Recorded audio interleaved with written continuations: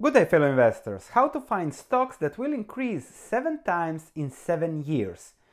While researching the paper sector, I researched today mostly UPM. I have put a link to my written report of 20 pages that you can read.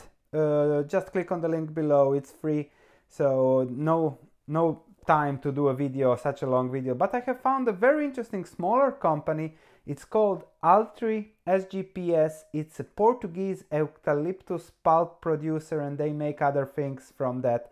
And the stock actually increased seven times over the last seven years. And there are two things that we can learn from that. One, you have to look there where others don't. And secondly, you don't have to buy crazy growth stocks to reach amazing returns.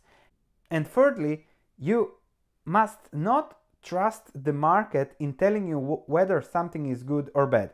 So those are three extremely important things we can learn from this. So the company, just a boring stock, producing pulp from eucalyptus trees in Portugal, processing them into paper pulp, dissolving pulp and biomass. Nothing special, very very boring, but the stock price went from below 1 euro in June 2012 to above 7 euros, even 8 euros just a while ago. So now it's above 7. The current dividend yield is 4%. The price earnings ratio is still around 7. So you might still think it as a bargain, even if it is 7 times up. The first interesting thing is that nothing special happened over the last 7 years. The company just executed on what their initial plans were and pulp prices went up a bit. The management didn't do crazy buybacks, they just paid down debt and paid dividends. Over the last seven years, the company lowered its debt a bit, but most importantly, it increased its dividend from 0 to 0.25 per share, and the profits didn't even increase that much. They just allocated capital differently as earnings per share went from 0.25 to 0.50 so the 0.14 just last year to 0.73 number of shares remained stable. The book value increased significantly.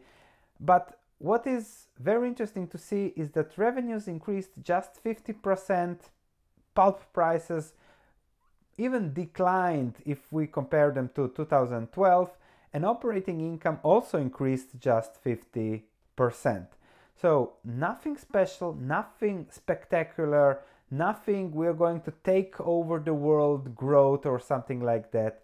Just one of those typical Peter Lynch companies boring under the radar in a country like Portugal that no one wanted to look into in 2012 and the result is staggering. So the key point is that you don't have to find stellar growth stocks to achieve amazing returns you can find boring, profitable stocks to do the same. Seven years ago, it was a 200 million market capitalization company. It was highly leveraged, but they were already working on paying down the debt. The profits were there already, so it was already there. Everything that is there now was already there in 2012. And then going to the market, how the market saw the company, Let's imagine that you bought the stock on the same story that developed later in 2010.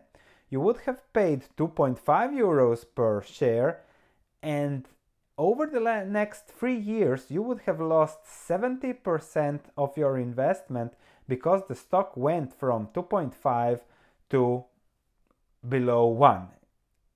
Even if you bought in 2007, it went below 1 twice over the next few years. But still, from 2.4 to 7, it's still a good investment in 2010. So don't let the market tell you what is a good investment. Really research what's going on. And the market might be selling for completely other reasons, which makes it pretty, pretty irrational. So to conclude, Take advantage of the market. Don't let the market tell you anything about business. To find great investments, you don't need to look at stellar growth stocks. You just need to look at those stocks that will improve a little bit constantly over seven years, pay out dividends, and get into onto the market's radar. So sometimes boring is much better than very, very exciting. Looking forward to your comments. Please share in the comments if you have some other stocks that have done similarly over the last seven years that we can learn from.